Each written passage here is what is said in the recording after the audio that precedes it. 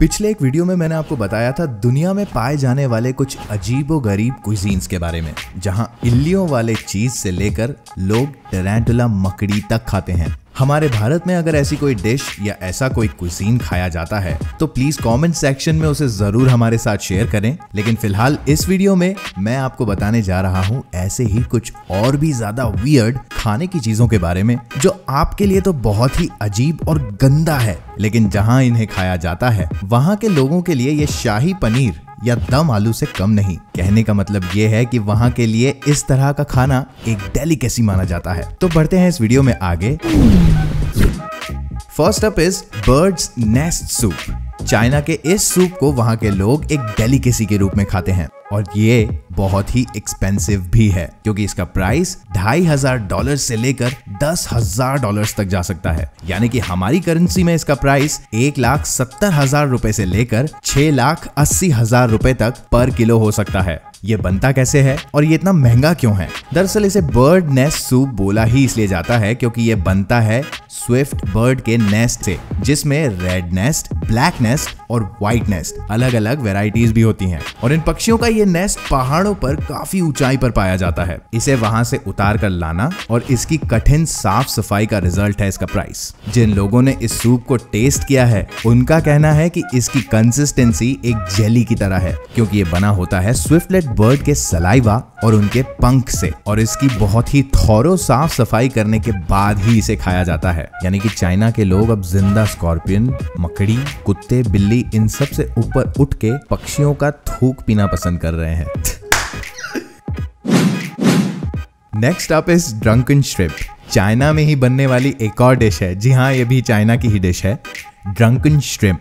ये दूसरे देशों में खाए जाने वाले श्रिम्प से बहुत ही अलग है। ऐसा क्यों? दरअसल चाइना के कुछ शहरों में इन्हें ज़िंदा खाया जाता है। लेकिन जरा ठहरिए तो सही, चाइना के लोग इसे ऐसे ही नहीं खाते हैं और इसे पकाया भी नहीं जाता है। इन्हें खाने के पहले बेहद तेज और स्ट्रॉन्ग एल्कोहल से इन्हें स्टन किया जाता है। उसके बाद ही इन्हें चाइना के लोग बड़े चाव से खाते हैं। आई गेस टल्ली होने के लिए। और अगर अपनी भाषा में इसका उल्लेख किया जाए तो श्रिम्प को टल्ली किया जाता है और जब वो होश में नहीं हो तो उसको निपटा दिया जाता है। Yak penis. Come on really इसका भी वॉइस ओवर करना पड़ेगा क्या? आई I मीन mean, ये तो इटली के कासू मार्जू यानी कि मैगेट वाले चीज़ और कनाडा के रॉकी माउंटेन ऑयस्टर से भी गंदा है। लेकिन जहाँ याक के को खाया जाता है वहाँ ये एक तरह की डेलिकेसी है। इसे खाने वाले लोगों के पास ये बहाना है कि ये बेहद हेल्दी होता है। तो वो लोग याक के को काट कर पकाकर खा जाते हैं। चाइना में ही खाए जाने वाली इस डिश का नाम वैसे तो dragon in the flame of desire है। और हो भी क्यों ना? कोई किसी भी चाइनीज़ रेस्टोरेंट में जाकर ये तो नहीं बोलेगा, भैया, एक याक का देना प्लीज़ हम लोगों के लिए ये डिश डेफिनेटली बहुत ही अजीब है विच इज़ एन अंडरस्टेटमेंट लेकिन इसे खाने वाले लोगों का कहना है कि इसका स्वाद स्पिनिच की तरह होता है। आई एम श्योर इसे देखते ही हमारी तो उल्टी निकल जाएगी, याक पीनिस यक.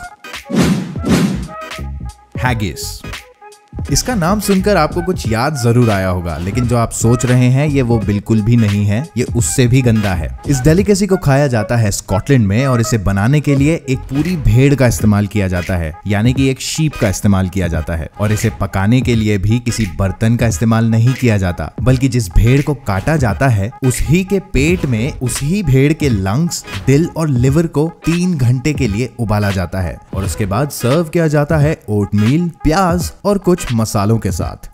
यक। लेकिन स्कॉटलैंड की ही कुछ जगहों पर शीप के पेट की जगह आर्टिफिशियल कास्टिंग का भी अब इस्तेमाल किया जाने लगा है। लेकिन फिर भी हमारे लिए इस चीज़ को इमेजिन करना भी बहुत मुश्किल है। हमें तो सिर्फ़ ये पता था कि भेड़ का इस्तेमाल उसका ऊन निकालने के लिए किया जाता है, लेकिन ये नहीं पता था कि बाहर के देशों में उसके ही ऑर्गन्स को उसी के पेट में पकाकर भी खाते हैं।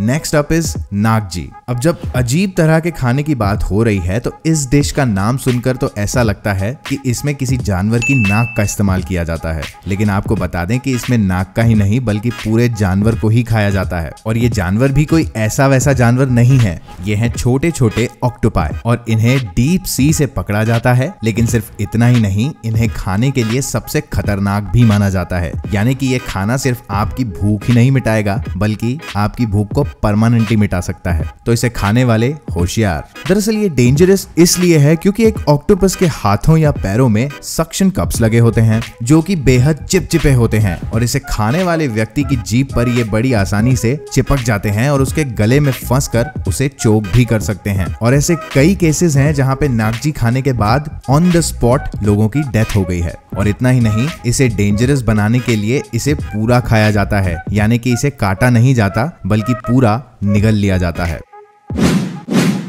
Next up is white and egg soup Laos दुनिया में कई तरह के सूप कंज्यूम किए जाते हैं और सूप को एक तरह से काफ़ी हेल्दी भी माना जाता है। सबसे ज़्यादा सूप चाइना और जापान में पिए जाते हैं, क्योंकि वहाँ की रोज़मर्रा की ज़िंदगी में सूप सबसे कॉमन चीज़ है। सपर में डिनर के साथ और कभी कभी तो ब्रेकफास्ट में भी वहाँ के लोग सूप ही पीते हैं। लेकिन ये सूप दुनिया का सबसे अनयूजल यानी कि सबसे घिनौना सूप है, जिसके बारे में सोचते ही शायद आपको उल्टी भी आ जाए। लाओस नाम के देश में ये सूप एक डेलिकेसी मानी जाती है और वहाँ के लोग इसे बड़े चाव से पीते भी हैं। इसमें जो इंग्रेडिएंट्स इस्तेमाल होते हैं, वो है चींटियों के अंडों का मिक्सचर जिसमें कुछ अंश सफ़ेद चींटियों के एम्ब्रियोज का भी रहता है और इस सूप को ज़्यादा खट्टा करने के लिए चींटियों के बच्चों को भी मिला दिया जाता है। कुछ लोगों का तो मानना है कि इसका टेस्ट श्रिम्प की तरह आता है। अब मैं तो वेजिटेरियन हूँ, इसलिए मुझे श्रिम्प का टेस्ट भी नहीं पता थैंक गॉड आप में से कुछ लोगों को याद होगा, कुछ साल पहले